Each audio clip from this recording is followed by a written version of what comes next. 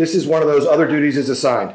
So everyone had a day job. Uh, welcome to another day job. Um, and I know that we're all taking this seriously on thinking about how we're going to prepare for the 2019 novel coronavirus. Our hospital and our medical school is taking this seriously.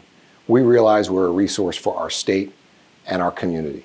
And to that end, we've taken significant steps to establish a multidisciplinary approach that includes providers from infectious disease, from infection prevention, from critical care, from hospital uh, resource management.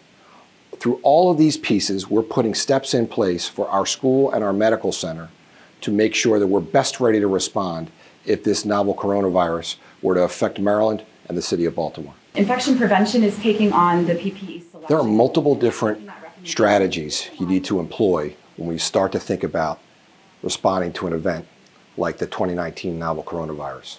The first is protection. How do we protect our patients, our staff, our community so that this doesn't continue to spread? Number two, how do we respond appropriately? How do we treat patients? What is the capacity and capability of our hospital and our doctors to actually effectively manage these patients? What is the testing that we need to do appropriately to manage these folks, diagnose them appropriately, and then track their recovery through our hospital and our, how our doctors are able to best manage them? How do we educate our public? How do we educate our providers on what are the next steps and what you need to do when you're concerned about being infected by this virus?